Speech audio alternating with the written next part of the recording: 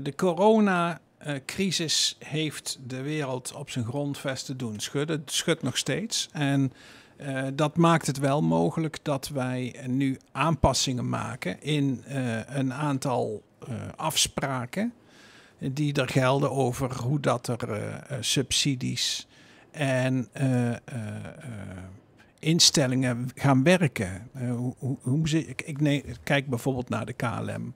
jij vanuit economische zaken um, hebt natuurlijk bovenop de gemeentelijke financiën ook gezeten je, je, je ziet ook dat er minder geld binnenkomt en dat er ook aanpassingen gedaan moeten worden, ook op gemeentelijk niveau.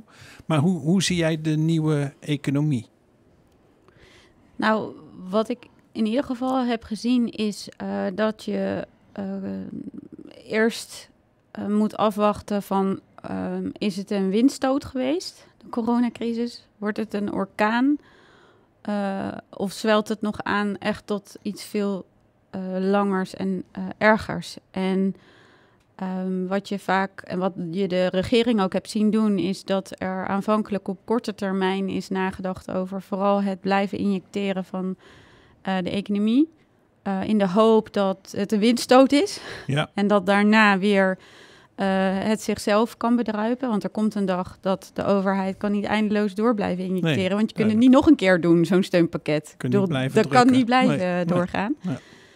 Uh, dus er is ingezet op het idee van uh, dit is een windstoot. En wij gaan proberen met hele forse injecties te kijken of het lukt om. Om maar de vraag rijst natuurlijk, als dit langer gaat duren, dan kan je niet nog een keer zo'n grote injectie doen.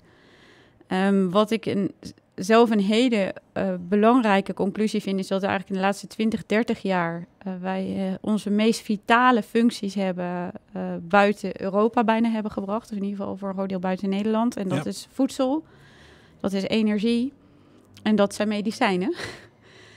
de wereld is voor 80% afhankelijk geraakt van China en India als het gaat om medicijnen. En dat maakt ook dat het geopolitiek heel wiepelig is. Want op het moment dat daar de grenzen dicht zouden gaan, dan heeft de hele wereld een probleem. Ja. Dus het terughalen van uh, medicijnindustrie, die in Nederland heel groot is geweest in de jaren nou ja, 60 ongeveer.